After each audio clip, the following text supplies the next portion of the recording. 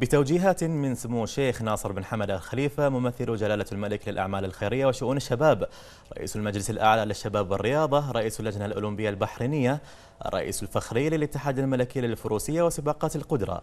تقرر تأجيل كأس جلالة الملك المفدى للقدرة إلى إشعار آخر وذلك بسبب الظروف الجوية التي تمر بها المملكة.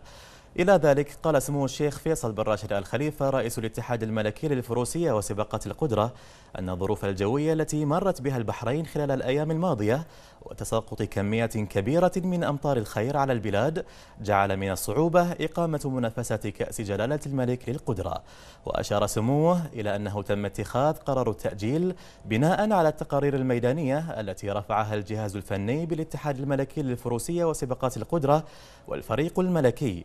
والتي تم من خلالها التأكيد على صعوبة إقامة السباق في ظل تأثر المسارات بالأمطار حيث أصبحت الأرضية طينية. بالإضافة إلى أن وفدا من مدربي الإسطبلات المحلية وإسطبلات دولة الإمارات العربية المتحدة قد قاموا بزيارة إلى قرية البحرين الدولية للقدرة ومسارات السباق وقد رفعوا تقريرا آخر إلى الاتحاد لوجود مخاطر على الجياد والفرسان نظرا لعدم صلاحية أرضية المسار لإقامة السباق. هذا وتبع سمو الشيخ فيصل بن راشد الخليفة أن السباق تأجل إلى إشعار آخر وسيعقد الاتحاد اجتماعا من أجل تحديد الموعد الجديد لإقامة الكأس الغالية.